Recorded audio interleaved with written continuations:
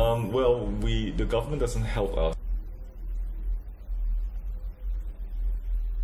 The only thing I knew was that she was a sex worker, and the police um, wanted to arrest her.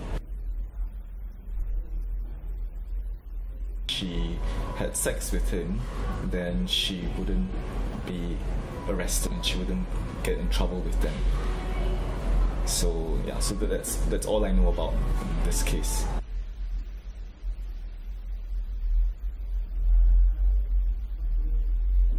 Not because if you look at domestic work, um, they they work very long hours, so um, they the they don't have regular days off. They don't have public holidays.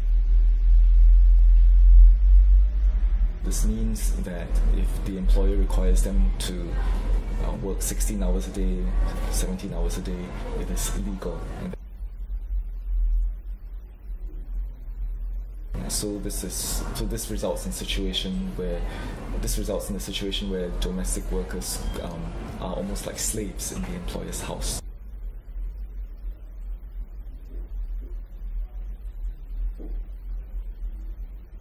Yeah, so migrant workers cannot be pregnant. If you are pregnant, you will be deported.